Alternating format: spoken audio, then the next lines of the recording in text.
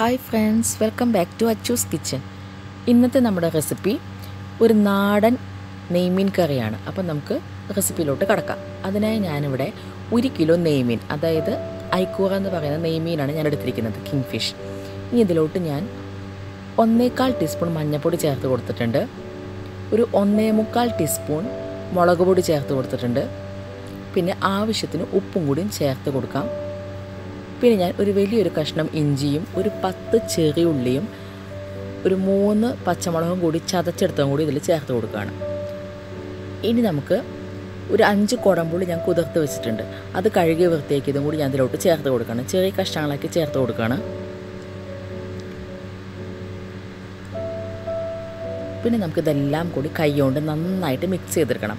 ഇങ്ങനെ നമ്മൾ ചെയ്യണത് എന്തിനാണെന്ന് വെച്ച് കഴിഞ്ഞാൽ ആ ചുവന്നുള്ളിയുടെയും ഇഞ്ചിയുടെയും പച്ചമുളകിന്റെയും അതുപോലെ ആ സ്പൈസസിന്റെ ഒക്കെ എല്ലാം നമുക്ക് ആ മീനിലോട്ട് നന്നായിട്ട് പിടിക്കാൻ വേണ്ടിയിട്ടാണ് ഇങ്ങനെ നന്നായിട്ട് മിക്സ് ചെയ്യാൻ പറയണത്.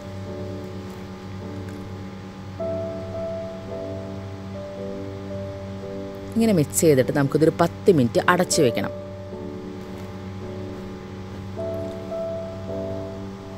ഇതിപ്പോൾ നമ്മുടെ പത്ത് മിനിറ്റ് അടച്ച് വെച്ച് കഴിഞ്ഞിട്ട് ഞാൻ തുറന്ന് നോക്കിയിട്ടുണ്ട്. ഇനി ഞാനിതിലോട്ട് ഈ മീൻ കറി ഞാൻ തേങ്ങാപ്പാലിലാണ് വെക്കുന്നത്. ഇനി ഞാൻ ഇതിലോട്ട് ഒരു കാൽ ടീസ്പൂൺ മല്ലിപ്പൊടിയും കൂടിയും ചേർത്ത് കൊടുക്കുകയാണ്. എന്നിട്ട് നമുക്ക് നന്നായിട്ട് മിക്സ് ചെയ്തെടുക്കാം.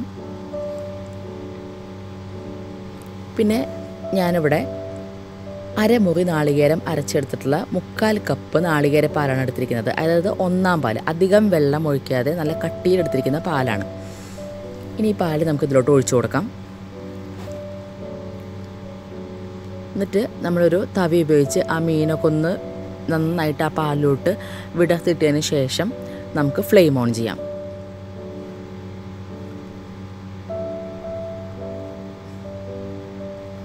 അപ്പോൾ നമുക്ക് ഫ്ലെയിം ഓൺ ചെയ്യാം.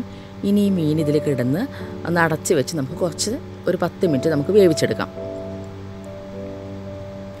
അപ്പോൾ പത്ത് മിനിറ്റ് കഴിഞ്ഞ് നോക്കിയപ്പോൾ നമുക്ക് മീൻ കറിയൊക്കെ ചെറുതായിട്ടൊക്കെ തിളച്ച് വന്നിട്ടുണ്ട്. പക്ഷെ ഫുള്ളായിട്ട് നമ്മുടെ വെന്തിട്ടില്ല? വെന്ത് വരുമ്പോൾ നമുക്ക് എങ്ങനെയാണെന്ന് വെച്ച് കഴിഞ്ഞാൽ അരുവത്ത് എണ്ണ തെളിയും. അപ്പോഴാണ് നമുക്ക് വെന്ത് വന്നിട്ടുണ്ടാവുക. അപ്പോൾ തേങ്ങാപ്പാലായതുകൊണ്ട് തന്നെ അധികം ഇളക്കണ്ട. അതായത് പെട്ടെന്ന് പിരിഞ്ഞു പോകാൻ സാധ്യതയുണ്ട്. ഇനി നമുക്ക് വീണ്ടും അടച്ച് വെച്ചൊരു പത്ത് മിനിറ്റും കൂടി വേവിച്ചെടുക്കാം. പത്ത് മിനിറ്റ് കൊണ്ട് കഴിഞ്ഞ് നോക്കിയപ്പോൾ നന്നായിട്ട് വെന്ത് വന്നിട്ടുണ്ട്. അപ്പോൾ ഇരുപത് മിനിറ്റ് ഞാനത് വെച്ചിട്ടുണ്ട്. പിന്നെ മീൻ ഉടയാതെ നമുക്കിത് അപ്പുറത്തോട്ട് മറച്ചിടാം.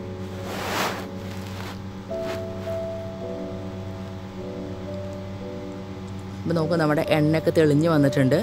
അപ്പോൾ നമ്മുടെ മീൻകറി ഇവിടെ ഏതാണ്ടൊക്കെ ശരിയായിട്ടുണ്ട്. ഇങ്ങനെ തേങ്ങാപ്പാലിൽ വെക്കുന്ന മീൻകറി വളരെ ടേസ്റ്റാണ്. അപ്പോൾ നന്നായി എണ്ണ തെളിഞ്ഞ് വന്നിട്ടുണ്ട്. ഞാൻ മീൻ കഷ്ണങ്ങളൊക്കെ അപ്പുറത്തേക്ക് മറിച്ചിട്ട് കൊടുത്തിട്ടുണ്ട്. ഇനി നമുക്ക് ഇതിലോട്ട് ഒരു തണ്ട് വേപ്പിന്റെ എല്ലാം കൂടി ഞാൻ ചേർത്ത് കൊടുക്കുകയാണ്.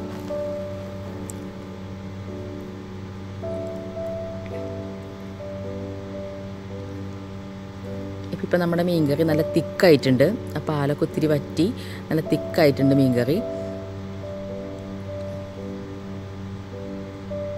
അപ്പോൾ നമ്മുടെ മീൻകറി ഇവിടെ റെഡി ആയിട്ടുണ്ട്. അപ്പോൾ നമുക്ക് ഫ്ലെയിം ഓഫ് ചെയ്യാം. ഇനി നമുക്ക് കറിയിലോട്ടുള്ള ഉള്ളി തളിച്ചെടുക്കാം. അതിനായിട്ട് ഞാനൊരു ചീന ചട്ടിയിൽ ഒരു രണ്ട് ടേബിൾ സ്പൂൺ വെളിച്ചെണ്ണ ഒഴിച്ചു കൊടുക്കുകയാണ്. എപ്പോഴും മീൻകറിയിൽ വെളിച്ചെണ്ണ ഒഴിക്കുന്നതാണ് വളരെ ടേസ്റ്റ് ആയിരിക്കും. ഇനി ഞാനിതിലോട്ട് ഒരു ആറ് ചെറിയ ഉള്ളി ചെറുതാക്കി അരിഞ്ഞത് ചേർത്ത് കൊടുക്കുകയാണ്.